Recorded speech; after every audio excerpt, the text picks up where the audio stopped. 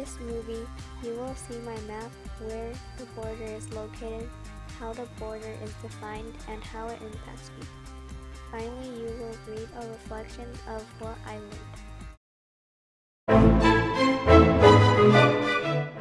This is my map.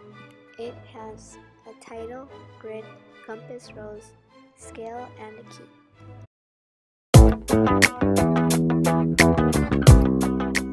Geographers define the location of the Morocco and Spain border in a variety of ways. To begin with, geographers describe the location as between the Strait of Gibraltar and the Mediterranean Sea. Yet another way geographers describe the location is that Spain and Morocco are separated by water borders.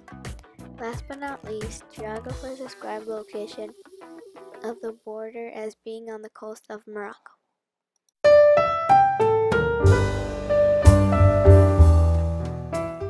Several ways to define the Morocco and Spain border.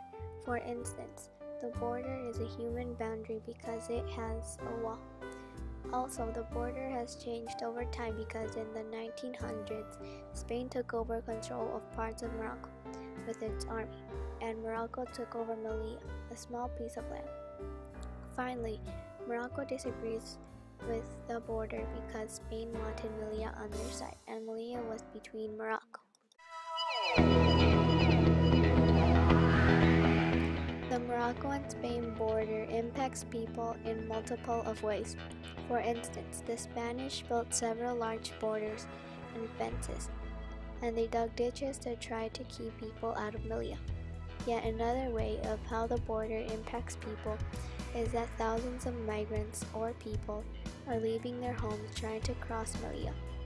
The final way is that migrants from all over the world try to cross into Melilla.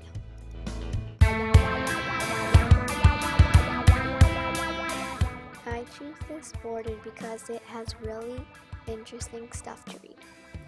I believe this border is unfair because Spain took part of Morocco. Something that I learned about this border in this unit is that families and friends are separate from the border. Something that I learned about geography is to discuss how the Morocco and Spain border can impact